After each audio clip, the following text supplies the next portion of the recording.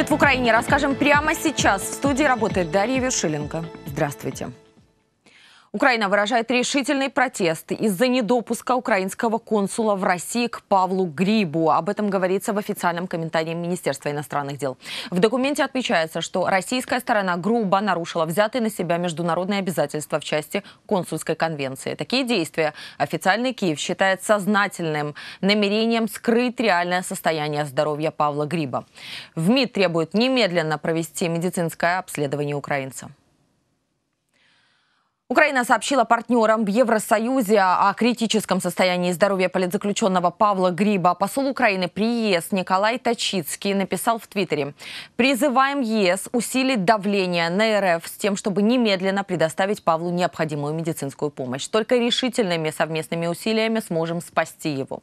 Ранее отец Павла, Игорь Гриб, заявил, что состояние здоровья сына критическое. Он умрет, если ему срочно не сделать операцию. У Павла начальная стадия цирроза печени и развивается болезнь Альцгеймера. В тюрьме Павел не получает никакого лечения.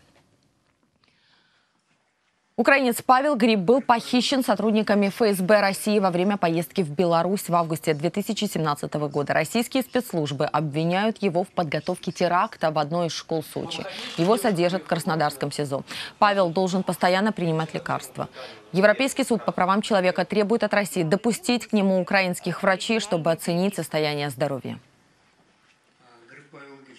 Адвокат раненого украинского моряка Андрея Эйдера подала ходатайство о его переводе для лечения в Украину или третью страну. Александра Маркова впервые увиделась со своим подзащитным на следственном действии в московском СИЗО Лефортово.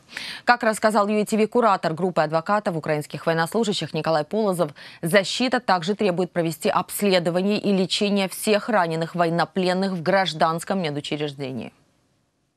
Конечно же, проблема с состоянием здоровья у нас раненых, у нас военнопленных вызывает у нас э, серьезное беспокойство в этой связи. Собственно, вследствие было заявлены э, ходатайства и по Андрею Артеменко, и по Андрею Эйдеру о переводе раненых в Украину или в нейтральную страну, как того требует конвенция.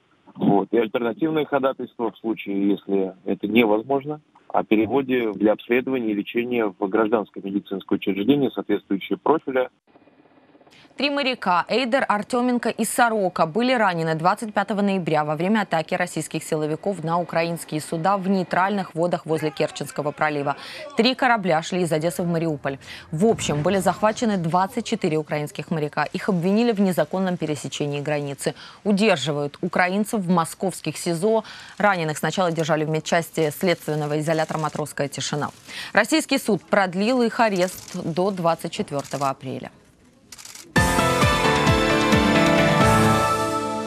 Двое российских оккупантов уничтожены, трое получили тяжелые ранения на Донбассе. Защитники Украины в районе населенного пункта Крымская ликвидировали передвижную минометную батарею и зенитку, установленную на бронированном тягаче. Как рассказал ЮИТВ представитель пресс-центра штаба операции Объединенных сил Виталий Саранцев, на провокацию боевиков среагировала маневренная группа, вооруженная ракетными комплексами «Стугна». За лічені хвилини після початку ворожого обстрілу. За считанные минуты после начала вражеского обстрела маневренная огневая группа нанесла ответный удар, а расчет украинской Стугны П провел пуск по вражескому бронированному объекту, с которого велся обстрел наших бойцов. И результат наших действий – минометная батарея врага подавлена. МТЛБ у врага вместе расчетом зенитной установки уничтожена. Личный состав расчета Стугна П представлен к награждению. За минувшие сутки оккупанты семь раз нарушили режим прекращения огня, в том числе используя запрещенное минскими договоренностями оружие. В частности, из минометов били по украинским позициям в районе населенного пункта Кряковка, хутора Вильны и Крымского.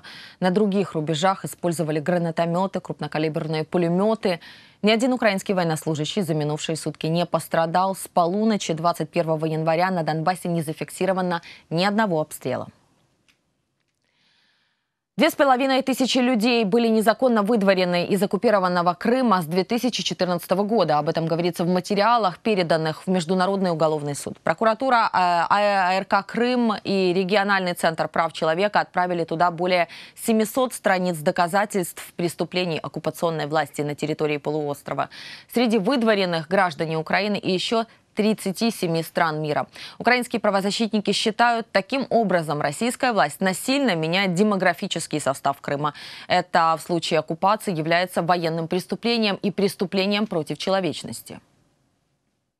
И Римский статут, Четвертая Женевская конвенция, они запрещают перемещение гражданского населения как оккупирующей державы на оккупированную территорию, так и перемещение защищенного населения, то есть э, населения оккупированной территории э, за пределы оккупированной территории. Таким образом, э, мы имеем три вида состава. Это так называемая колонизация, заселение гражданами Российской Федерации полуострова. Вторая часть – это депортация, то есть перемещение гражданского населения на территорию Российской Федерации или на территорию третьей страны. И третий состав – это, э, можно сказать, насильственное перемещение, Таинственный рейс самолет российской авиакомпании «Нордвинд» прилетел из Каракаса в Москву. Об этом свидетельствуют данные сервиса Flight Radar. Он покинул Венесуэлу в среду около пяти вечера по местному времени. Самолет российской авиакомпании, который никогда не выполнял рейс в Каракас, прилетел туда во вторник и остановился в зоне для частных самолетов. Цель его прибытия неизвестна. В авиакомпании заявили, на борту пассажиров не было. По версии венесуэльского парламента, на этом самолете могут вести 20 тонн золота из Национального банка банка. Это порядка 840 миллионов долларов и примерно 20% золотого запаса Венесуэлы. Агентство Bloomberg написало, один из источников подтвердил отгрузку 20 тонн золота на рейс в Москву. В Венесуэле не утихают антиправительственные протесты. Люди выступают против президента Николаса Мадура, обвиняют его в коррупции и глубоком экономическом кризисе. А выборы, на которых политик победил в прошлом году, считают незаконными. 23 января временным президентом объявил себя лидер оппозиции Хуан Гуайдо. Его признали Соединенные Штаты, Канада и ряд других государств. Евросоюз 26 января дал Мадуро 8 дней, чтобы объявить новые президентские выборы. Он отказывается покидать пост президента. За время правления Мадуро инфляция в стране достигла миллиона восемьсот тысяч процентов. Режим Мадуро поддерживают Сирия, Иран, Китай, Турция, Белоруссия и Россия. Рекордные морозы в Соединенных Штатах. Восемь человек погибли от обморожения и в результате аварий. Самые низкие температуры на Среднем Западе. Минус 30 по Цельсию. Как американцы справляются с холодами? В сюжете Анжелы Лешко. От Дакоты до штата Мэн улицы Соединенных Штатов опустели. Закрыты школы, предприятия, отменены тысячи авиа и железнодорожных рейсов. Из-за рекордных морозов до минус 35, которые при порывах холодного ветра ощущаются как минус 50, жители стараются не выходить на улицы.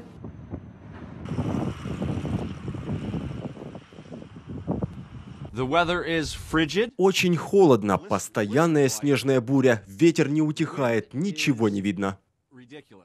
Чрезвычайное положение объявили в штатах Висконсин, Мичиган, Иллинойс, Алабама и Миссисипи. В Висконсине на побережье Женевского озера отложили ежегодный конкурс ледяных скульптур.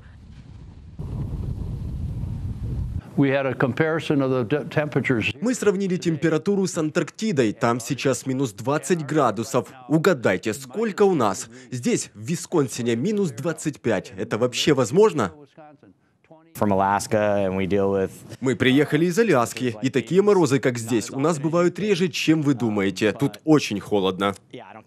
Врачи говорят, находясь на таком холоде, обморожение можно получить за 10 минут. Первые признаки обморожения – боль, а не менее покалывание. Это предупреждающие знаки, которые означают, нужно немедленно вернуться в помещение. Потепление синоптики ожидают к концу недели. До тех пор аномально холодную погоду придется терпеть 250 миллионам американцев. По мнению метеорологов, резкое похолодание связано с потеплением в районе Северного полюса. Из-за него полярный вихрь изменил обычную траекторию и сместился к югу, на территорию США. Анжела Лешко, UATV. Больше информации на сайте канала uetv.ua. Заходите. Следующий выпуск новостей уже через два часа. Оставайтесь вместе с UATV. Спасибо, что вам интересна Украина.